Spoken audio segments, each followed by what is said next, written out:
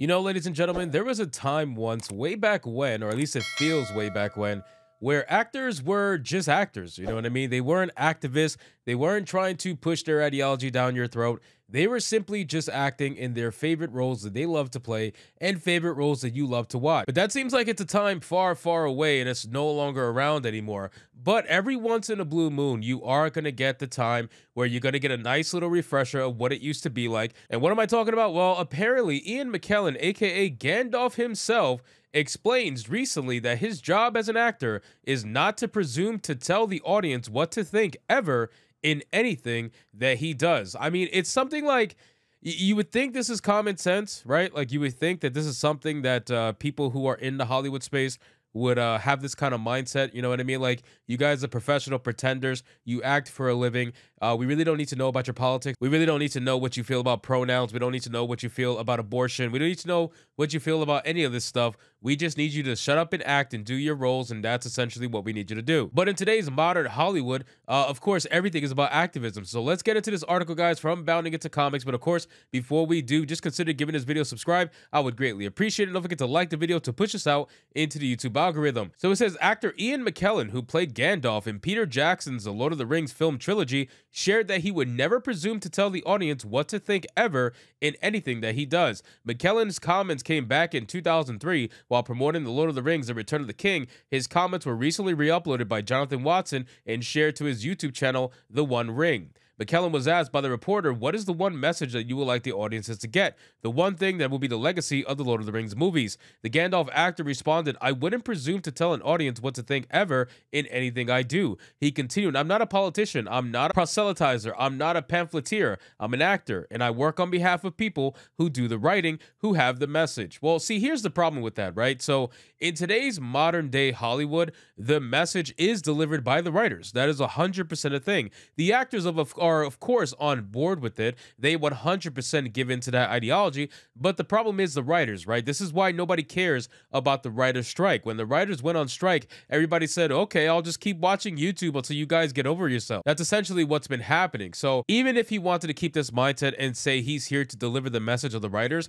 even in today's modern day, the message of the writers is the problem. This is the problem we come into with every single TV show. This is the problem we come into with every single movie. Now it's starting to get into video games. You know, the hot topic of this week was Starfield and all the pronoun nonsense. Like, this is what's happening in modern day entertainment. And it's because of the writers. It's because of these narcissistic writers that are putting themselves into whatever they write. They self insert themselves in everything. It's just like Velma, just like Rings of Power. All of it's the same. All of it has the same idea behind it. And that's to push modern day identity politics any chance that they get. The message is always supreme over anything else. So it says from there he explained his role as an actor. My job is not to tell the audience anything. It's just to explain the person I'm playing beyond the side of the character I'm playing. Good or bad, I don't judge character. McKellen then provided an example. When I played Richard III, I didn't say I'm going to tell the audience why they shouldn't like tyranny and dictators. I just got on with explaining why Richard III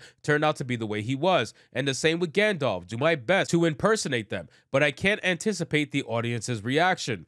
Uh, McKellen's comments are in direct contrast to how actors promote their films today. One need only look at a number of the movies that came out this year, such as Barbie or Blue Beetle, or how Rachel Zegler is promoting Snow White. And two of those three movies completely bombed, by the way. Two of those three movies are complete box office flops, and that is because of the way they marketed their film and what they were trying to do with it. Barbie, Barbie is a one-off, right? Barbie is one of those names that is so big with the normies that there's no way in hell that movie was gonna fail. At the very worst, it was gonna break even, but everybody pretty much saw that it was gonna make a profit, some kind of a profit. How much? We um, we honestly, I didn't think it was gonna make as much money as it did, but it did make money, and we all knew that was gonna happen. But movies like Blue Beetle, movies like Snow White, even though Snow White has such a big name, Snow White also has this standard that was set by the original animation that Rachel Zegler is doing everything in her power to absolutely destroy. Like she's trying to actually destroy everything from the original Snow White. She doesn't want her version of Snow White to be anything like the original. And I mean, listen, that's pretty easily done considering what Disney's doing with the modern day Snow White. They're not even using dwarves, they're using tall people, with the exception of one person who is a dwarf, just to say they have one. So again, the contrast is amazing. And it goes to show where Hollywood was prior to where it is now.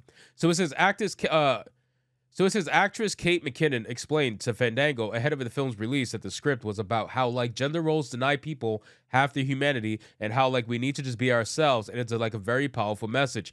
Actor Simu Liu told Screen Rant, "I'm so glad that this movie exists because I think it puts the final nail in the coffin of that very heteronormative idea of what gender is and what it is or is not gendered. How can you make a color gendered, you know? And see, that's the problem right here all of these people who are part of the movie talking about everything else other than the fucking movie, right? Like, talk about the movie. Why are you talking about your politics? Why are you talking about gender conformity? Why are you talking about any of this nonsense when you're talking about a Barbie movie? This should be one of the most simplest things to market, and yet you want to talk about identity politics. But you know what? I got to be real with you guys. I got to be real with you guys.